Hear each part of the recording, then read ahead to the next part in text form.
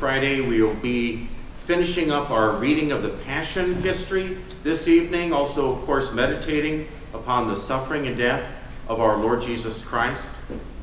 The series that I've been preaching on salvation unto us has come. This is will be the last session on that series in that hymn. So th those are the major things that are finishing up here. We will have at the end of the service uh, what's called Tenebrae, which is a service of darkness. And uh, while the choir is singing its second anthem, I'm going to be slipping out to turn off the chancel lights. Okay?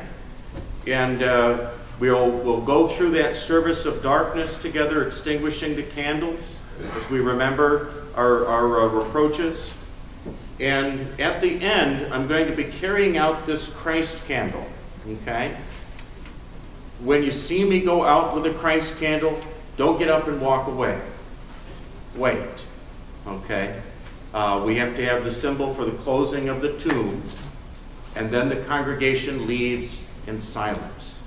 Okay? So that's, that's uh, a few notes to, to take about the service this evening.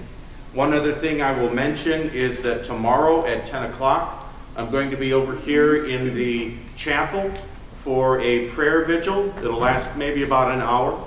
Uh, the Sunday school doors over here will be unlocked, so if anyone would like to join me, they may come right in. And uh, it's just going to be a time of prayer, and uh, just letting you know that that's, that's what we'll be doing on Holy Saturday for those who would like to attend. So, with those announcements made, do we have someone to ring the bell this evening? Let's have the ringing of the bell followed by our opening hymn. God bless your meditation this evening.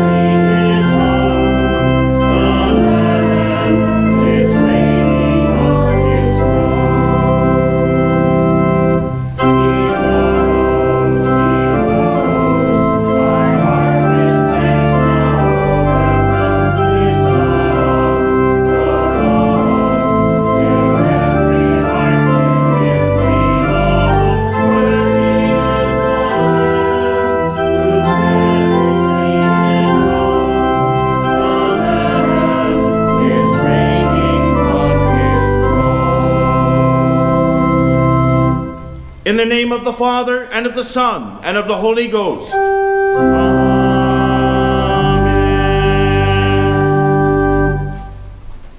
Surely he hath borne our griefs and carried our sorrows.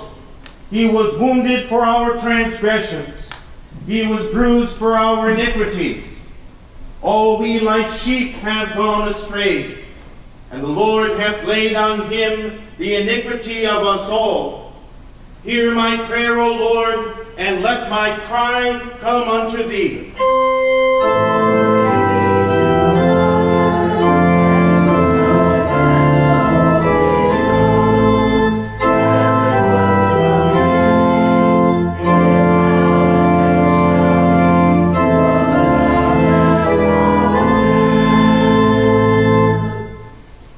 Almighty God, we beseech thee graciously to behold this thy family, for which our Lord Jesus Christ was contented to be betrayed and given up into the hands of wicked men, and to suffer death upon the cross.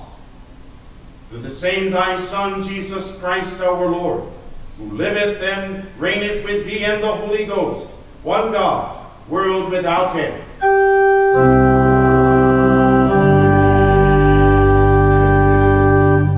Please be seated.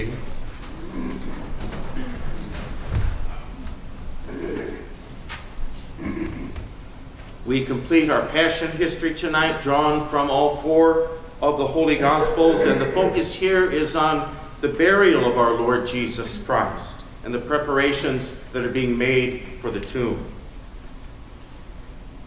And many women were there beholding afar off, which followed Jesus from Galilee, ministering unto him, among which was Mary Magdalene, and Mary the mother of James and Joseph, and the mother of Zebedee's children.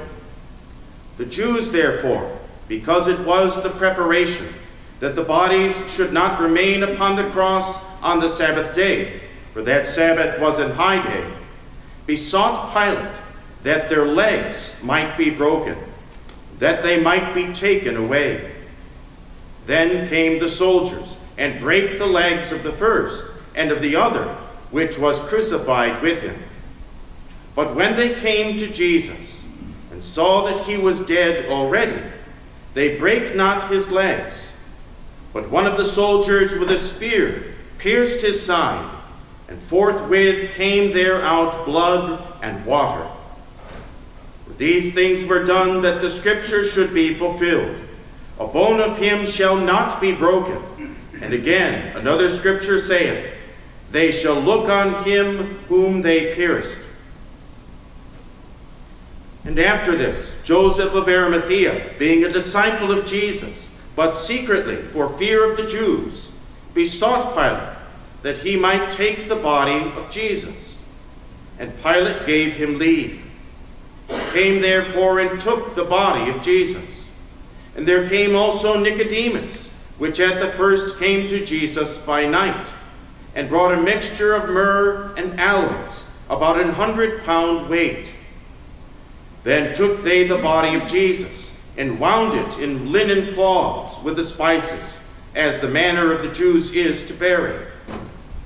Now in the place where he was crucified there was a garden, and in the garden a new sepulchre, wherein was never man yet laid.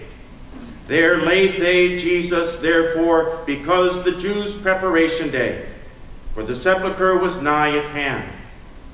And the women also, which came with him from Galilee, followed after, and beheld the sepulchre, and how his body was laid. And they returned and prepared spices and ointments, and rested the Sabbath day according to the commandment. Now the next day, that followed the day of the preparation, the chief priests and Pharisees came together unto Pilate, saying, Sir, we remember that that deceiver said, while he was yet alive, After three days I will rise again. Command therefore that the sepulchre be made sure until the third day, lest his disciples come by night and steal him away, and say unto the people, He is risen from the dead, so that the last error shall be worse than the first. Pilate said unto them, You have a watch. Go your way, make it as sure as you can. So they went and made the sepulchre sure, sealing the stone and setting a watch. Here ends our Passion history.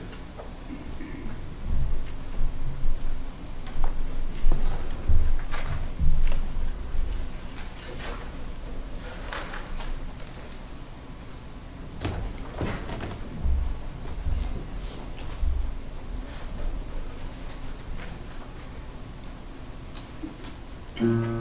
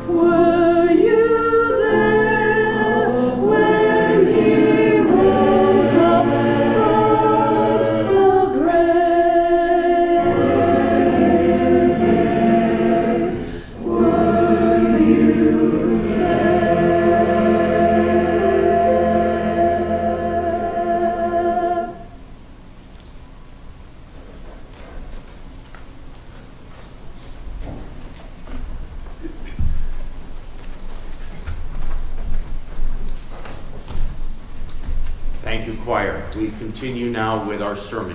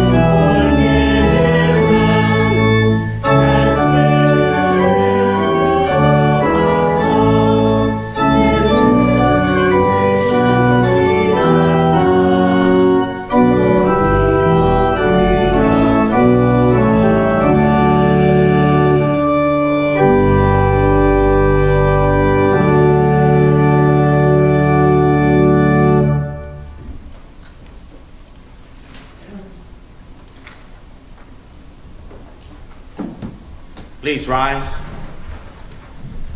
The text for our message this evening is from the prophet Daniel, the seventh chapter, beginning in the 13th verse.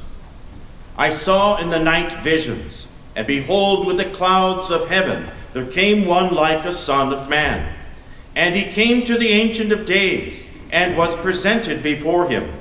And to him was given dominion, and glory, and a kingdom that all peoples, nations, and languages should serve him. His dominion is an everlasting dominion, which shall not pass away, and his kingdom one that shall not be destroyed.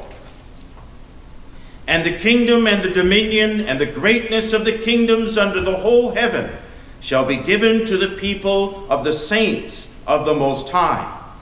Their kingdom shall be an everlasting kingdom and all dominions shall serve and obey them. Here is the end of the matter. As for me, Daniel, my thoughts greatly alarmed me, and my color changed, but I kept the matter in my heart. This is the word of God. Please be seated.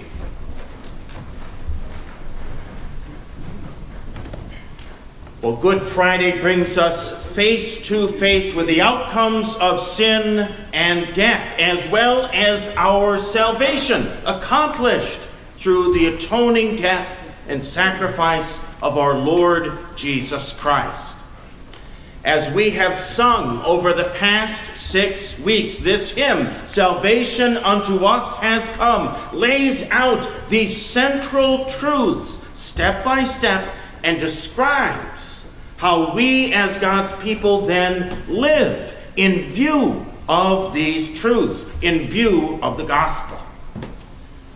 So the question arises How is it that this classic hymn, a morning star of the Reformation, how is it that it is not found in our hymnal? How did that happen? In some parts of Europe, this hymn was sung more and more favorably than Luther's most favorite famous hymn, A Mighty Fortress is Our God. Why did salvation unto us has come get lost? In the 18th and 19th century, about 200 years ago, changes entered into Christian thought and Christian practice. People grew less and less interested in the truths of the faith and became more interested in how those truths made them feel. They got focused on their feelings, their hearts. They wanted a religion of the heart rather than a religion of the head. And if you've ever heard somebody make that kind of distinction about a head religion versus a heart religion, that's where it starts. That's where it comes in. This cultural movement was known as Romanticism. Romanticism.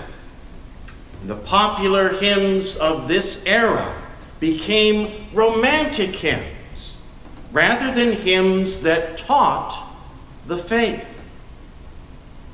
So slowly, teaching hymns, hymns that, that taught doctrine, fell out of favor and did not get included in hymn collections. That's how this happened. Now, pull down your hymnal for a minute and turn with me to the back of the hymnal, page 933. You've never been in this part of the hymnal, probably. Page 933, way at the back, you'll find the indexes there. 900, excuse me, 993. 993.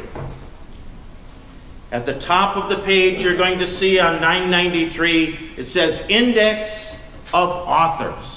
Index of Authors. Then look at the left-hand column and follow it down to toward the bottom of the page. You see the L's there, and almost at the very bottom of that column, you see Luther, comma, Martin.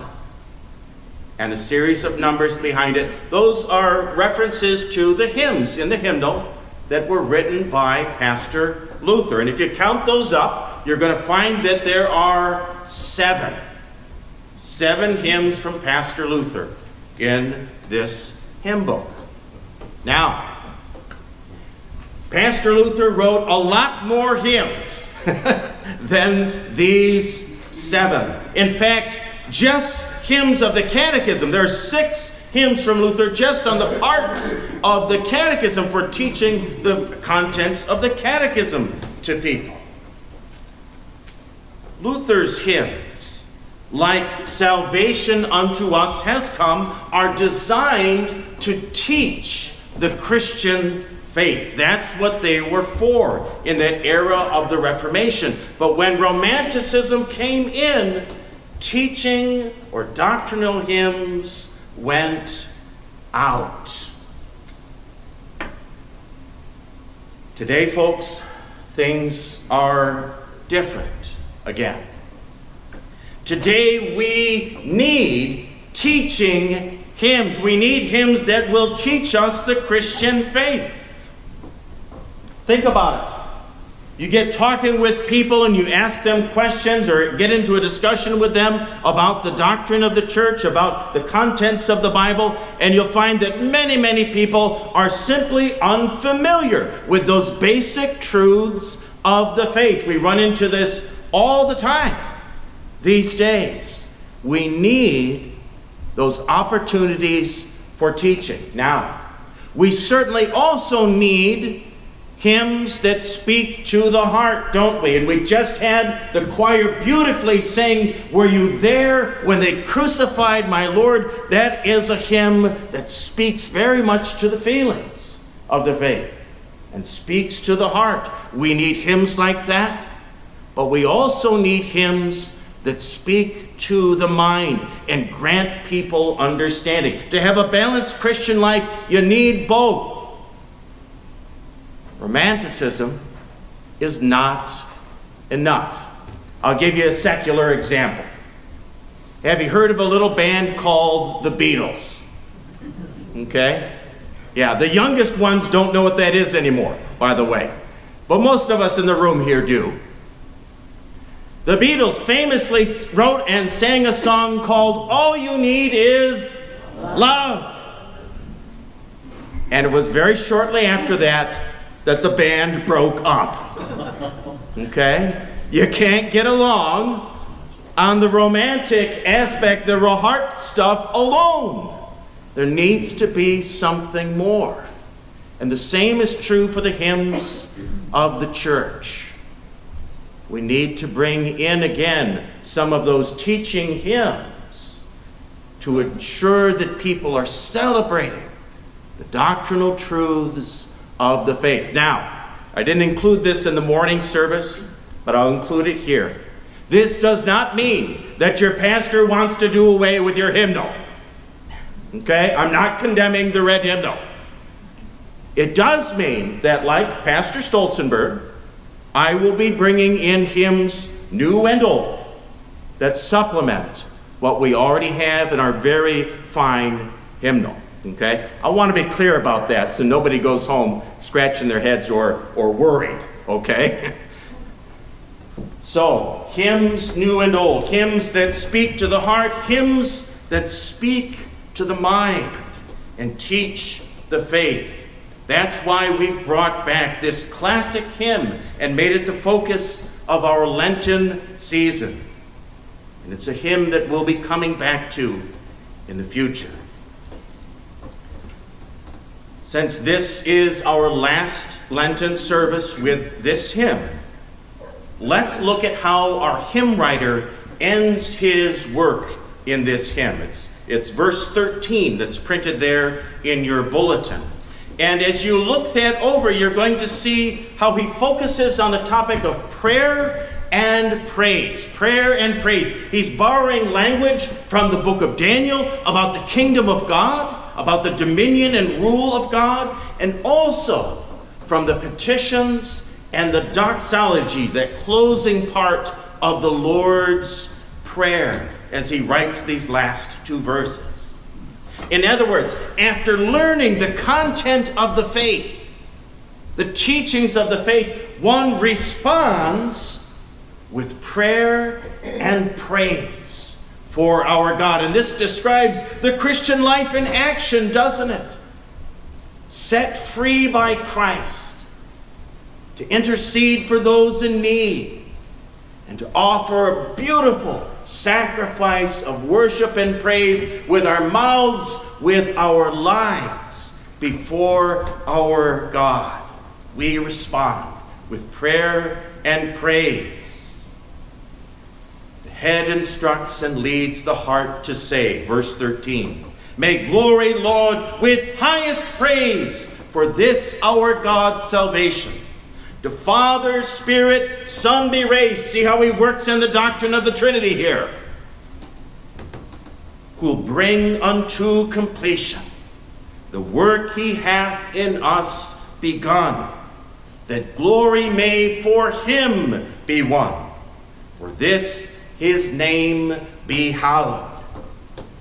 He's celebrating the reign of God in our lives and thereby in the life of this world.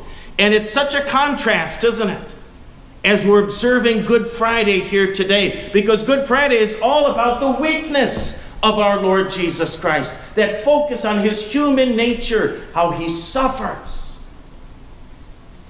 how he dies. And the hymn writer, writer reminds us that Jesus is not just an ordinary man. He is God and man in one person, come together for us and for our salvation, Truly, in Christ, salvation unto us has come through the cross. And as we'll soon celebrate, through that empty tomb on Easter morning, praise be to our Lord Jesus Christ. In the name of the Father, and of the Son, and of the Holy Ghost. Amen. The peace of God, which passeth all understanding, keep your hearts and minds through Christ Jesus.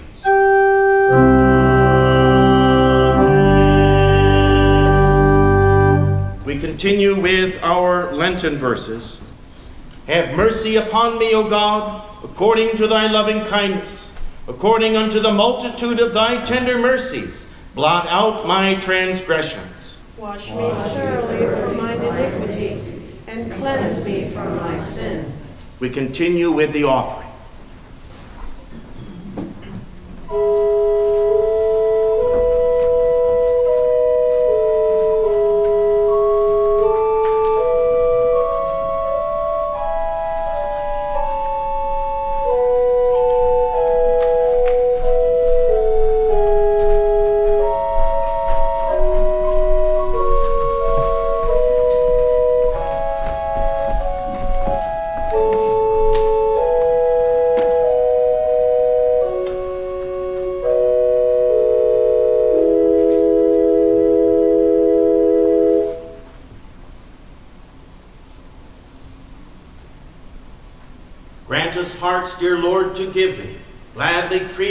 Thine own, with the sunshine of thy goodness. Melt our thankless hearts of stone.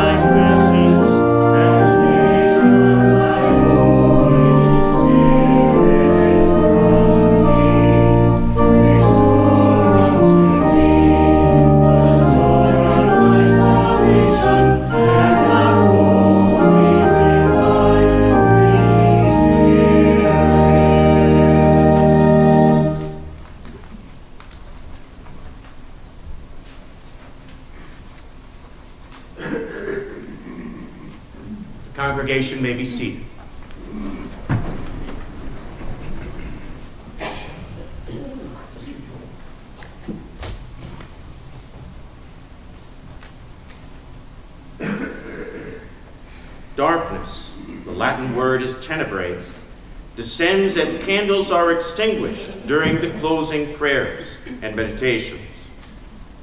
In Micah chapter 6, verses 3 and 4, the Lord asks his people how he has offended them and invites them to answer. He likewise reminds them of the many ways he has blessed them. The medieval Christians expanded the Lord's question into 12 reproaches about our unfaithfulness and the Father's mercy in sending Jesus to bear our sins.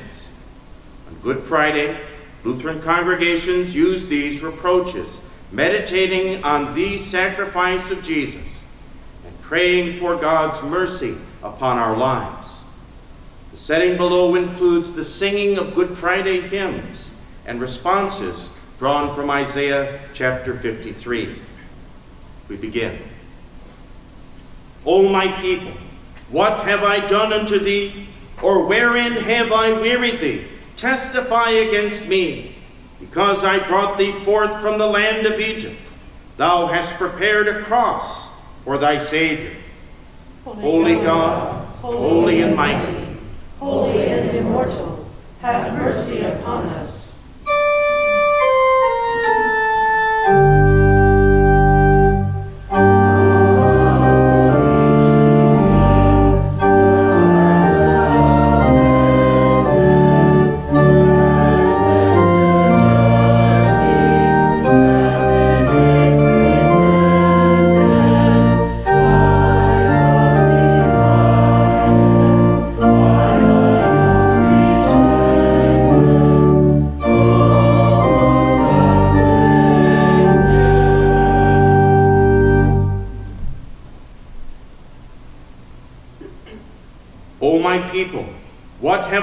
Unto thee? Or wherein have I wearied thee? Testify against me. Because I led thee through the desert forty years, and fed thee with manna, and brought thee into a land exceeding good. Thou hast prepared a cross for thy Savior. He is despised and rejected of men, a man of sorrows and acquainted with grief.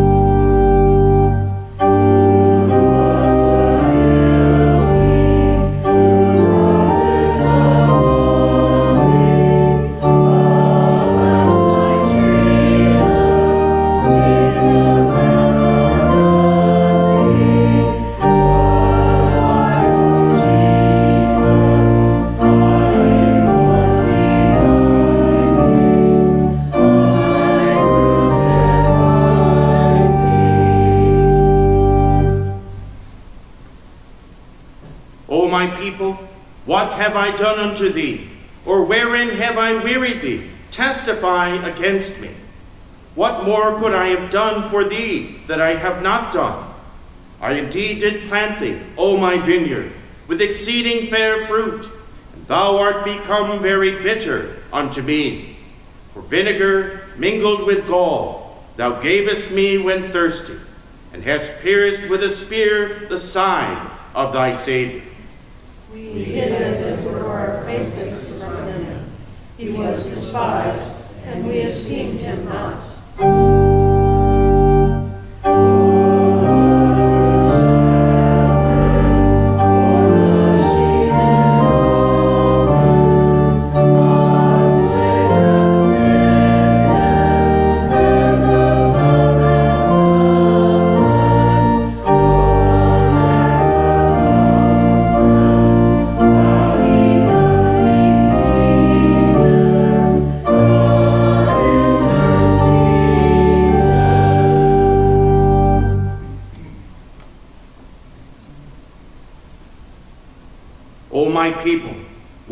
I done unto thee?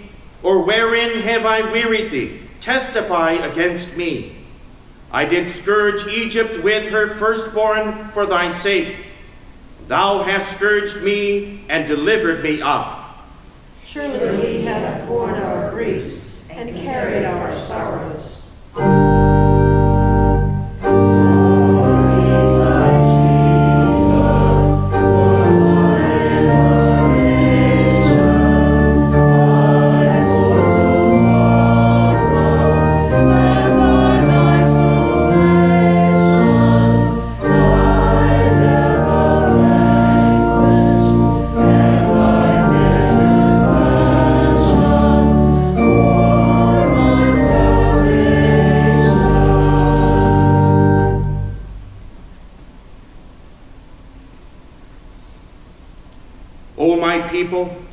have I done unto thee? Or wherein have I wearied thee? Testify against me. I led thee forth out of Egypt, drowning Pharaoh in the Red Sea, and thou hast delivered me up unto the chief priests. We did esteem him stricken, smitten of God,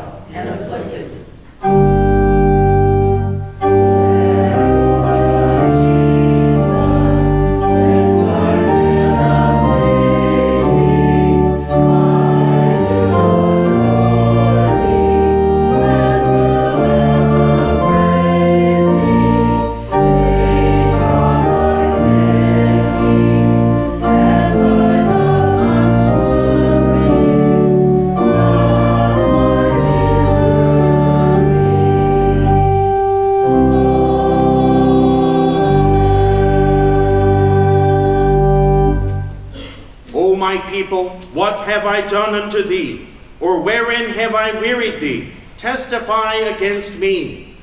I did open the sea before thee, and thou hast opened my side with a spear. He was wounded for our transgressions, he was bruised for our iniquities.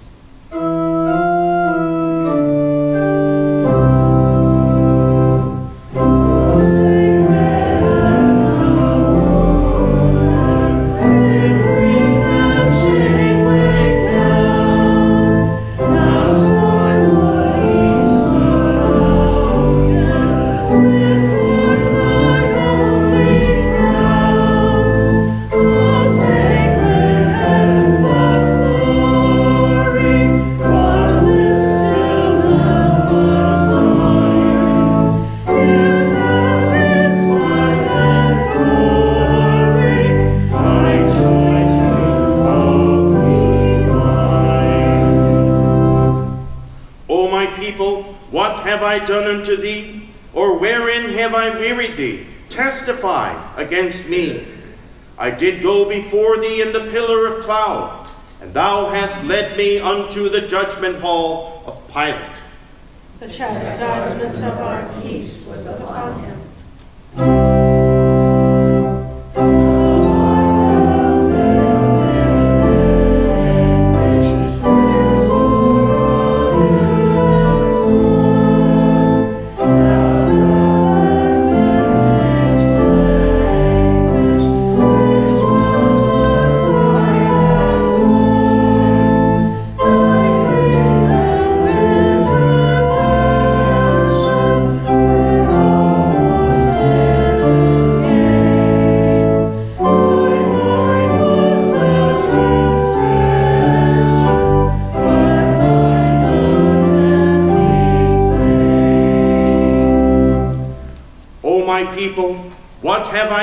Unto thee?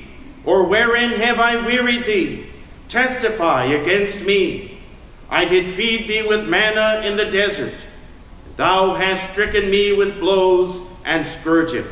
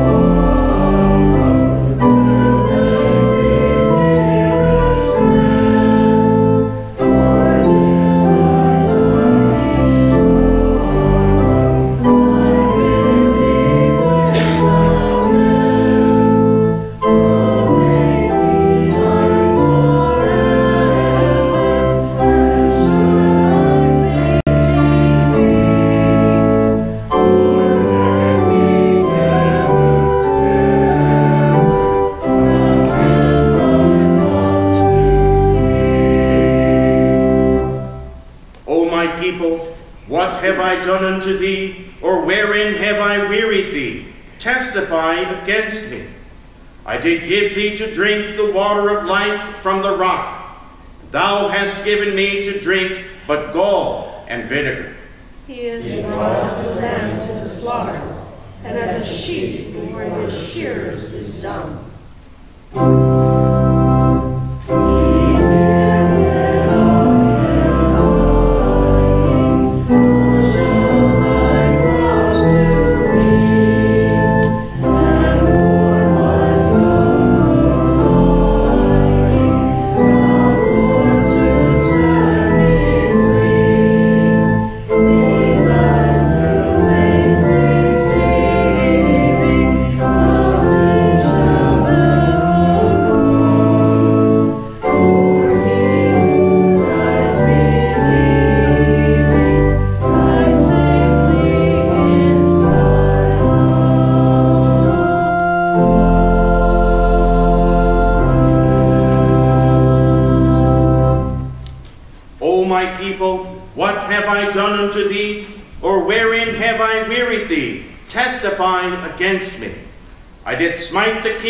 The Canaanites for thy sake, and thou hast smitten my head with a reed.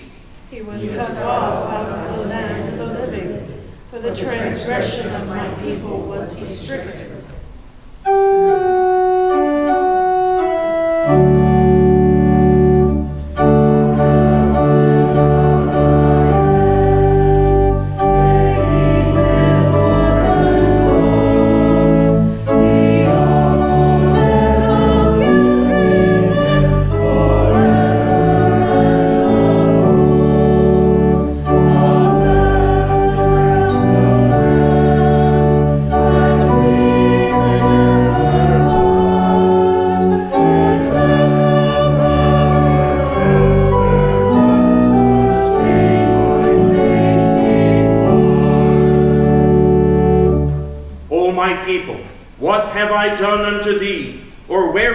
Have I wearied thee?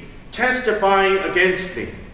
I did give thee a royal scepter, and thou hast given into my head a crown of thorns. He had done no violence, neither was he deceit in his mouth.